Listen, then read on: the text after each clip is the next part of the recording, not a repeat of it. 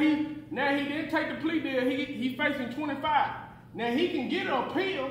How long do the average appeal take? Then your paperwork got to be filed on time while you locked up because you going to jail. It's filed on time. Who filed the paperwork for you? The CO. CO might not put it in there. You might miss your window. It's the system lock you up. You in there. You got your mom and them on the book. They gonna look out for you. The average person gonna put money in your book probably the first six months. Yeah. That first six months, ain't about thinking about you like that. Yeah. Life going on. Your life stopped, but life is still going on. Let me with this. He told y'all, Pastor, Hebrews 13. Let brotherly love continue.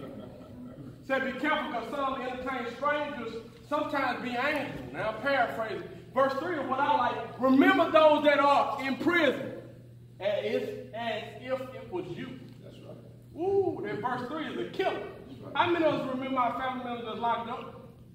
Especially during this time of season. Suicide rate high, and incarceration. So that's the game. So when you deal with this, understand this.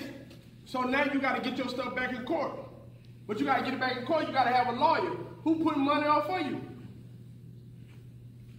Come on, man. You say you ain't taking no plea. You got to have all this together.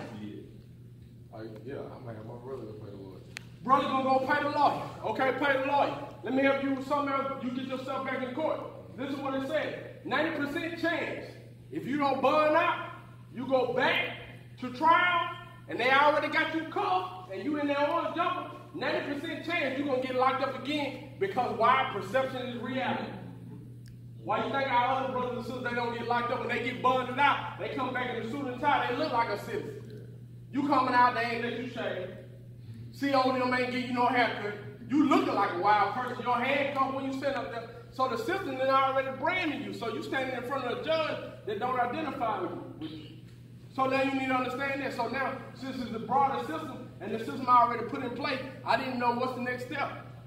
When you deal with this, over 80% of people that's incarcerated right now are only there simply because they don't have money for bail.